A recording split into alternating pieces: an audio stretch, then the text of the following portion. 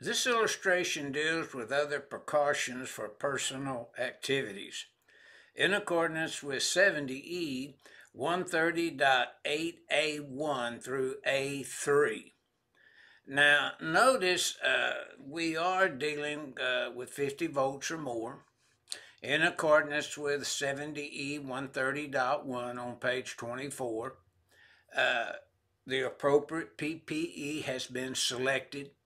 uh, the electrical hazards have been defined by this person in accordance with uh, Article 100 on page 11, uh, as, the, as, electrical hazards uh, are defined there. Uh, the note one, the employee must not perform job task where he or she is impaired per as outlined in 130.8A1 through A3 on page 39.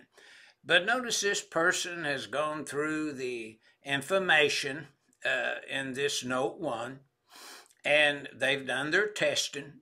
Uh, it's been the equipment is shown in this call out has been placed into electrically safe work condition in accordance with 120.5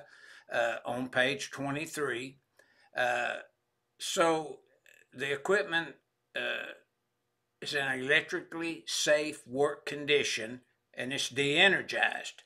Now, this purpose of change mainly was a revision that was accepted and added to recognize the term electrical hazards as defined and used throughout 70E as well as the term uh, when and where it is used. Now, uh, 70E uh, committee members want to be consistent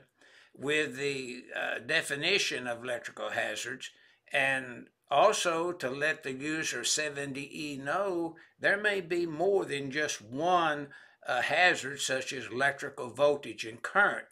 Uh, there may be mechanical, pneumatic, uh, other type of uh, hazards that the the employee performing uh, the testing and placing the equipment into electrically safe work condition, uh, they must know these hazards and how to deal with these hazards and how to avoid these hazards in accordance with the definition of a qualified person in Article 100. Now, anytime a person, as you see in this illustration, test and uh, on energized circuits and equipment, uh, they must review the energized rules in 130.2c on page 24, 110.4a and b on page 15, where equipment is energized and what would be the exemptions, exceptions to the rule, uh, but mainly working on energized equipment at 50 volts or more, or less than 50 volts can be found uh, in uh, 110.4a and b on page 15. So review those very carefully before attempting to work on energized equipment to start with, and then make sure that the plant, the facility where you work,